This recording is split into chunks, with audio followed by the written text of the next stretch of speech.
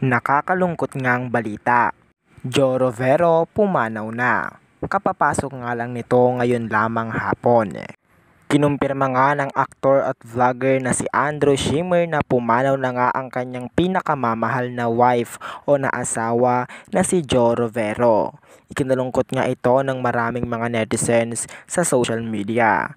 At ngayon nga ay talaga nga namang nagtrending ang pagpanaw ni Joe Rovero.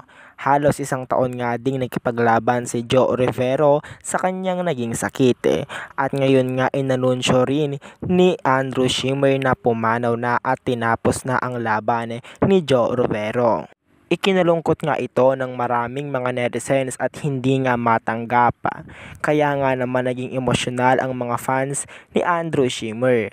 At narito nga ang kanilang mga naging mensahe kay Andrew Schimmer na talaga nga namang nakakalungkot. Shock ang lahat matapos ngang inanunsyo ni Andrew Schimmer nitong mga nakaraang araw na may improvement na. Ngunit nabigla ang lahat na ngayon ngay inanunsyo ni Andrew Schimmer na pumanaw na agad si Joe Rovero. Kaya naman naging emosyonal ang mga netizens.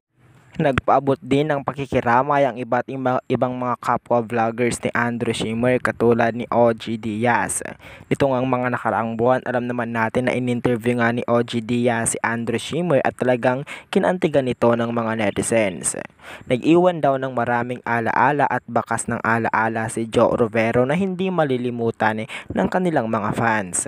Ngayon nga ang advice ng mga netizens ay ipag-pray si Andrew Schimmer sa pagsubok o sa dagok na kanya kanyang naranasan sa pagparaw na ngayon ng kanyang asawa na si Joe Rovero.